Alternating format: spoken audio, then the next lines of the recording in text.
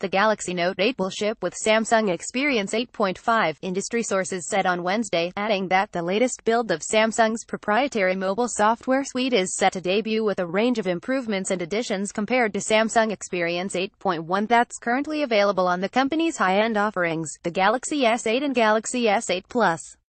According to the newly reported information, the upcoming user interface will be significantly more stable and consistent in terms of performance, allowing the Galaxy Note 8's Android skin to avoid frame rate drops and consequently improve the end-user experience of the device.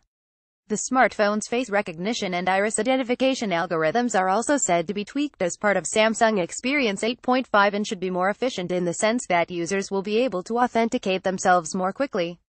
The Galaxy Note 8 will supposedly run Samsung Experience 8.5 out of the box, with the UI itself being an integral part of Samsung's take on Android 7.1 Nougat that the company has been working on for some time now and has already distributed its experimental build to some wireless carriers around the globe. Sources claim that the new software will also make its way to the Galaxy S8 and Galaxy S8 Plus at some point in the future, but it's currently unclear when exactly that might happen, with the new UI reportedly being a couple of months away from arriving on more smartphones. Likewise, the insiders at DIDNT clarify on whether Samsung Experience 8.5 will be distributed alongside the Android 7.1 Nougat update for those two handsets, though that seems like the most probable scenario, especially given Samsung's software update practices. The South Korean original equipment manufacturer is scheduled to officially launch the Galaxy Note 8 next Wednesday, August 23, while the phablet itself is likely to be released at some point in September.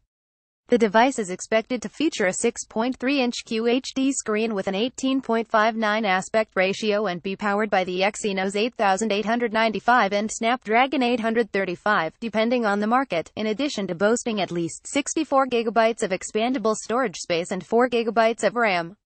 The Galaxy Note 8 should also be Samsung's first mobile offering with a dual-camera setup, with its imaging system being rumored to consist of two 12-megapixel sensors and a dual flash.